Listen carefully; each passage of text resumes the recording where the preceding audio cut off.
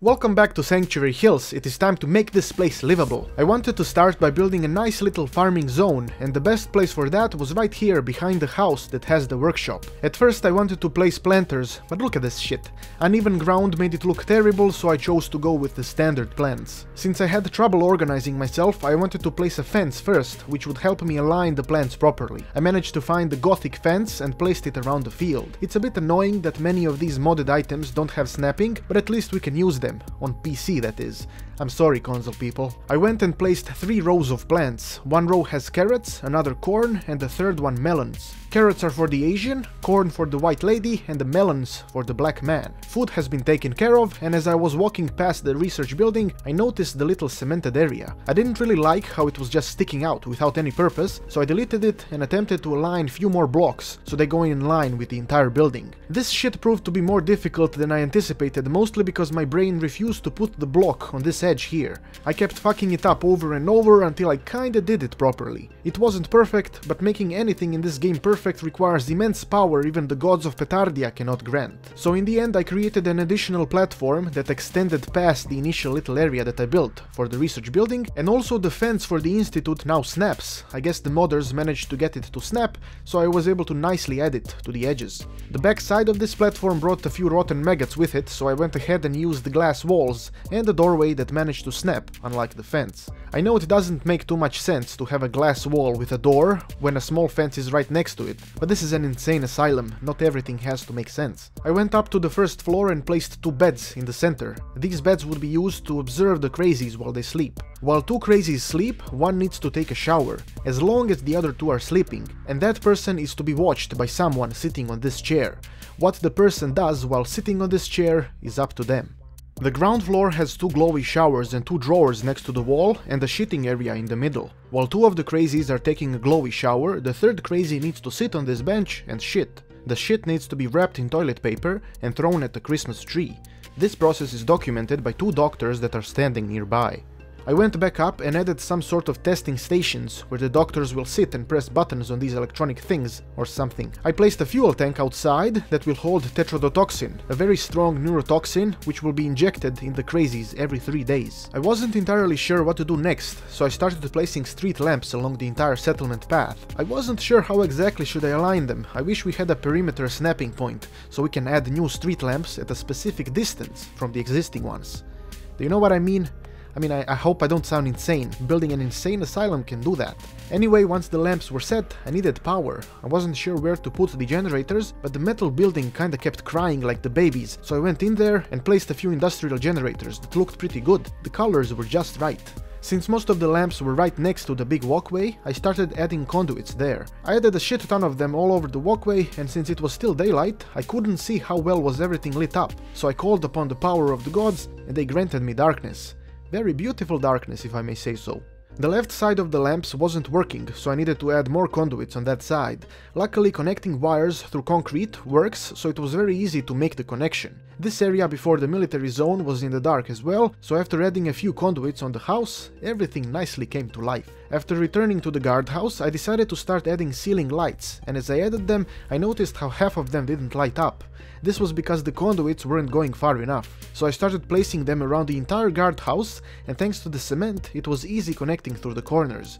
If these were regular walls, fuckery would eat my ass. I was getting tired of the fucking lights and wires and my mind wanted to put some defenses. It probably wasn't necessary, but I added quite a few guard towers across the walkway and turrets on the ground. There's also one new item in the game thanks to mods, the guard rug.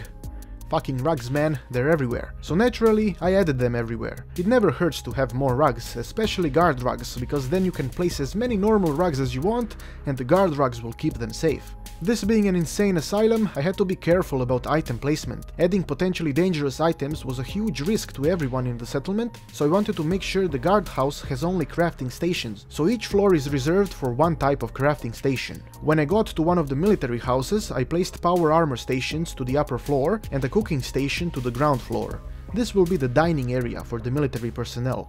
The walkway needed some lights, but not just any lights. This area needed to have fire barrels. This is extremely important to the functionality of the settlement. As the soldiers patrol, they will need to grab ashes from the fire barrels and throw them down on the ground. This is done because the ashes, combined with the tetrodotoxin in the crazies, gives them special attributes, which are being tested by the doctors. That throwing shit at the Christmas tree process is one of the tests. It is unknown what exactly is being tested and what makes the crazies special, but we must trust the gods and their methods methods. I was done with the walkway, so I went to the upper floor of the metal house. This entire room is being monitored by the doctors, and the goal here is to find out habits and behavior of the crazies when their minds are influenced with generator fumes. This corner is a test to see would the crazies eat the meat from the bags. The other two corners have a desk with a chair and a bunch of documents on them. The purpose of these documents is unknown. My guess is that the docs are suspecting that the generator fumes are making the crazies turn into lifeless secretaries, willing to sort the documents for forever. The room also has a coffin on the ground that contains a secret portal to Zimbabwe,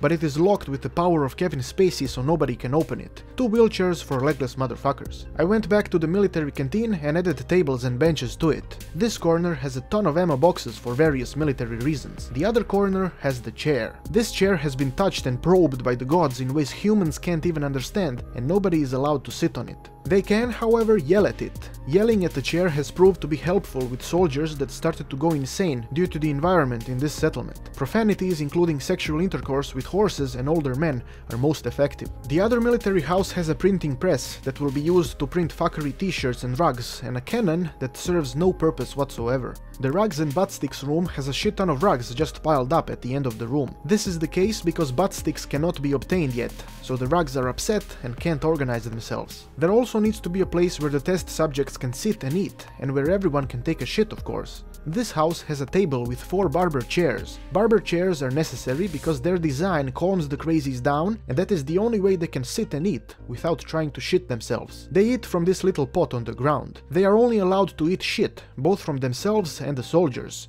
Why are the doctors trying to get them to eat meat from those bags is still not certain. Other rooms contain toilets, a lot of toilets, because they eat a lot of shit all day. This room has the only TV in the entire settlement and it is facing another toilet. In order for this TV to work, an individual needs to sit on the toilet and you guessed it, take a shit. As long as the process lasts, the TV will be functional. This process is measured by a device within the toilet and it is measuring the so-called ass force of the person sitting on it. This pretty much concludes the Sanctuary Settlement building. This settlement is effectively a militarized insane asylum that holds three highly insane and dangerous people, and they are used as testing subjects by the doctors that have been hired by the gods of Petardia. The research building is most important when it comes to testing, and I honestly had no idea the suicidal Asian man would be sleeping here as I was doing the tour, which just proves how my design is magnificent and that the gods are extremely satisfied.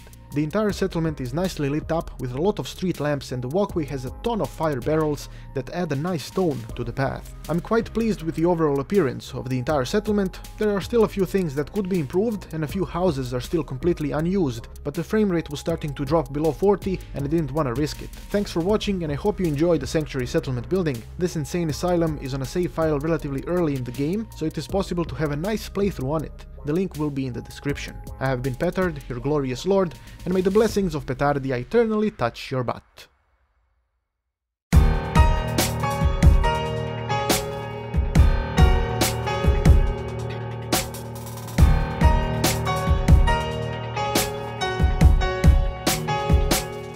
How do you have the audacity to do that?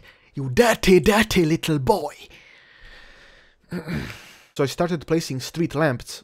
Lamps, lamps. Ko kaže lamps? Šta to uopće znači? To kurac moj znači, šuti.